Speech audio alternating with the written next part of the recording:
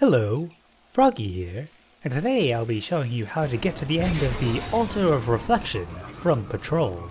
You're going to need two people for this one because we'll be using a Quantum Sparrow in Witch's Echo. And to do that, we're going to want to get out of map in Miasma first. This is still the most convenient way that I know to do that. Jump up on this rock and up over onto a ledge over here, and then... Huh. Have sworn that hole used to be larger. That was going to go right up that little gap there. Just did this like three times effortlessly before recording, but of course now it's giving me a little bit of trouble. Ah, third tries the charm. And just going to make sure I'm as high as possible. A nice gentle flight over and right into the gap. So loading back into Miasma can be a little bit tricky. I've been favoring the spot on the left that I'm going to here lately. I find it's fairly consistent Though it does make it slightly more annoying for the, uh, the next step. So just walk into the side here, and you should have a long load. Which would be good for a Quantum Sparrow, but that's not where we want to put it. Now we're just going to cross over to the left. It's kind of hard to see what you're doing, but I would just swing and go for it. It'll probably make it over pretty easily. Now you can just walk along the left side here to avoid the load. You can't actually just walk off, so you don't have to worry too much. Once you've got into the fog a little bit, just summon a sparrow, boost in, and get off. If you die to the load, it isn't a big deal. You'll just have to get out of the map again to find your sparrow. Here's where your second person comes in. Bachmanetti is currently acting as my observer, using the death cam to give me a view of where I am. He is currently located in the funnel that goes down to the mirror dimension area that Altar of Reflection is hidden away in. You can see, once I jump to a certain point, the camera kind of freaks out. You can deal with the flashing if you want, but this view also works. I need to guide my sparrow over to where he is so that I can actually reach it. The quantum sparrow is not affected by barriers, but guardians are. So have your observer scout out a good place to leave the sparrow, and then they can guard it to make sure that it doesn't slip down the side after you get off. And now it's time to go meet up with Bach in the funnel. So, the funnel is over towards the kind of pyramid city section, a little bit before that on the right. Dropping down to it can be a bit tricky, but there's no harm in dying to the death barriers a few times while you try to get the drop right. Going to want to jump out kind of towards the chess pieces and down onto the land below. There's a pretty good drop point if you follow along the edge here to about the backside and then right uh, around this uh, little corner here, just drop off. Ah, reunited at last.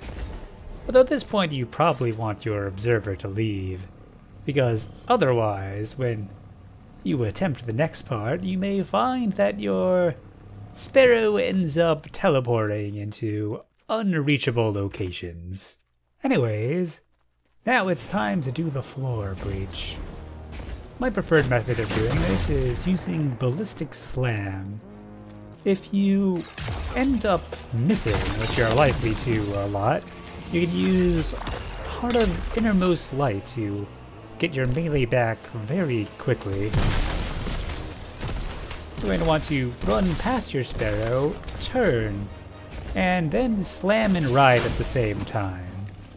You'll want to make sure that uh, one of your hands points straight down when you signal, and then get off on that side and spam crouch, and if all goes well, you should go right through the floor. I made a critical error there, though, and you will see what it was shortly.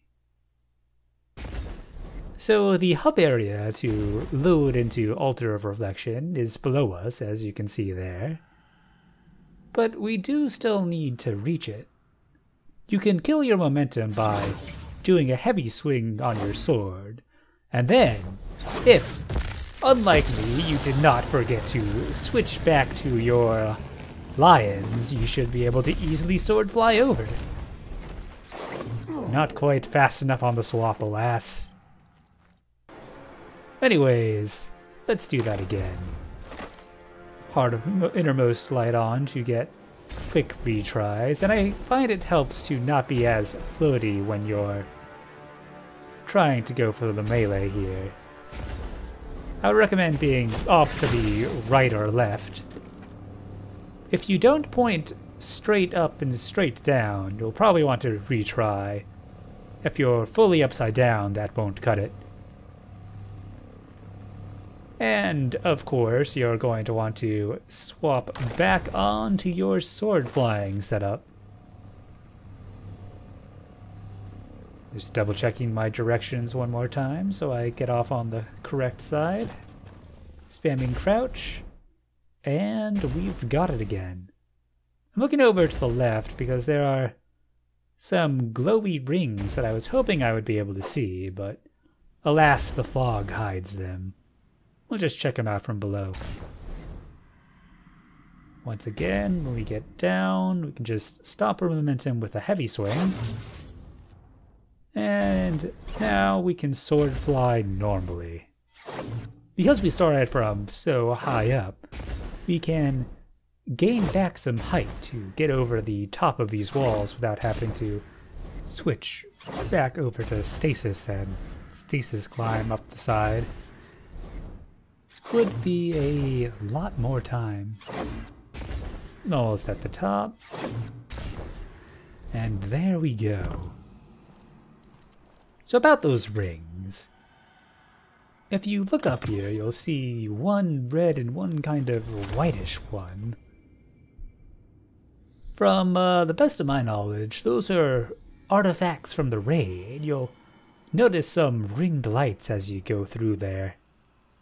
Just getting rid of that blinking indicator. And we've made it. All the way to the Altar of Reflection. And luckily the load does in fact work. And we are in. Let me just take a moment to take in the nice scenery. It is a rather pretty place. Originally, I thought I was going to end the video here, but I figured I might as well see if I could get any further. Naturally, the normal door to go forwards is closed, but when has a closed door stopped us? So I noticed while I was doing my jumping here and trying to see if I could titan slither further in, that there is this one section of wall that is very close to the height ceiling. With just a little bit of height ceiling barrier push, we ought to be able to make it through there. Probably want stasis to get up close, but it's going to take a hunter to clear that jump along with Stompees and High Jump. Once again, Bachmanetti is helping me out. He's on a Stasis Titan because they make stasis climbing very easy. And he's just going to give me a platform to stand on. You want it to be a little low. If it's too high, you won't be able to gain the momentum you need. Now just gotta face down get a quick double jump and blade barrage right over. Nice and clean. One door down. Hopefully the others won't be that uh, bad. But that does leave us on a hunter, which is a little bit out of my comfort zone. Let's see. Looks like the second door is a no-go.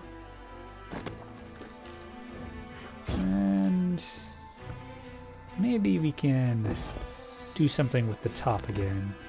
Hopefully it won't have to be a super because I got lucky on getting the other one first try. And cooldowns are no joke these days.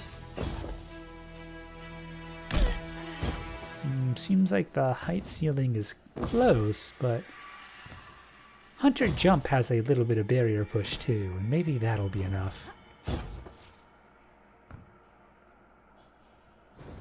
Oh, nice, easy. Door number two down. And now we only have one more door to go. From what I recall, you can just go around this one, although generally when I've done that from the mission, it's been on a uh, Titan where bypassing the door is easy, and I'm not skilled with the various skating techniques that would make this much easier. In fact, before I made this video, I didn't even have any sort of stasis climbing set up on my hunter, so this one is very unoptimized. So I'd recommend climbing up to this first area here as a starting point. The edge of the box comes right against the building here, but luckily it is close enough that we can just kind of sneak around it. I would place a initial crystal to get over here, but you're probably not going to have them flat enough to easily round this corner. So I would plant another one, which should land just about flat here. Actually found that if you slide into the corner, it gives you a sizable boost, almost like a mini barrier sir, which is quite handy because the area behind it is a turn back. This is where it would be very nice to have a speedy technique. That was very close and probably took me about 45 minutes of tries to get there. But once you round this corner, you're out of the turn back, and you can leisurely make your way to the center. I wasn't taking any chances with that second grenade. And now we've done it. All the way to the end of the Altar of Reflection, without having the convenience of any of the doors opening for us. What emotes do I even have on my hunter? Eh. Well. Anyways, just going to enjoy this space. Thanks to Aste and Salvo for showing that you could use a Quantum Sparrow to break into the bubble. It was quite a challenge to get here, so I might as well enjoy the moment. Maybe take a little swim. Well, I hope you've enjoyed this and try getting out here for yourself. It is a fun challenge.